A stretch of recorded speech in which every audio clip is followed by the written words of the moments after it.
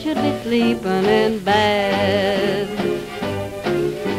If you were peeping, you'd find that I'm weeping instead. My loving dad. Hello, I'm Madarn Laris.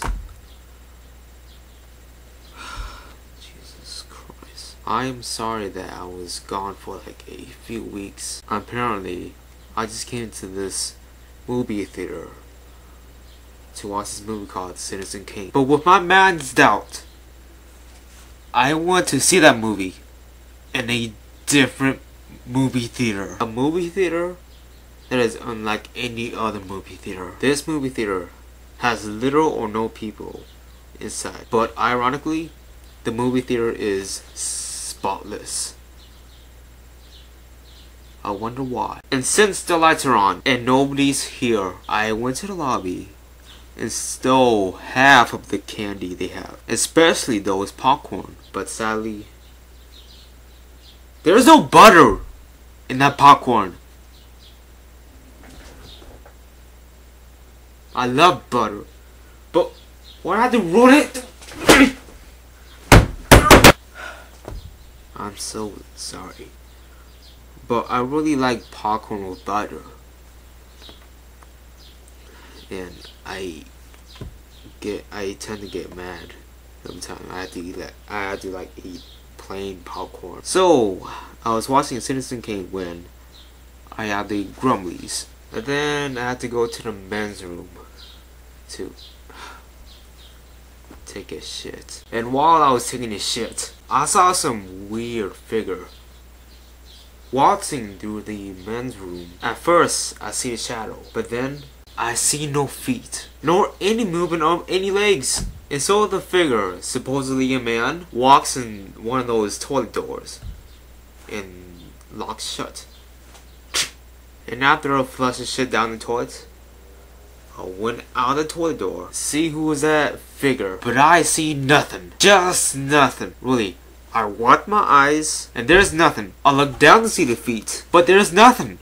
How in fucking possible? Here's a question for all of you people who are watching this. How does a toilet door just locks itself without any living being? Well, anyways. After I just noticed that no one was there, I have the sudden chills that I may not be alone. And then I'm starting like get thrilled out. I ran out of the man's room and then accidentally smacked into the wall. Well, it's kind of like this.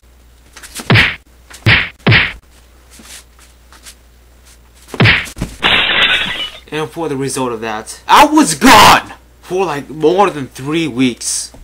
Now I bet that Calvin and Guyan is making up more than 20 requests for a goddamn shoutout. After I was being conscious, I just woke up. It was still night when I just woke up. The lights are still on. Then I suddenly realized that this is a movie theater for ghosts. That means I'm not wanted.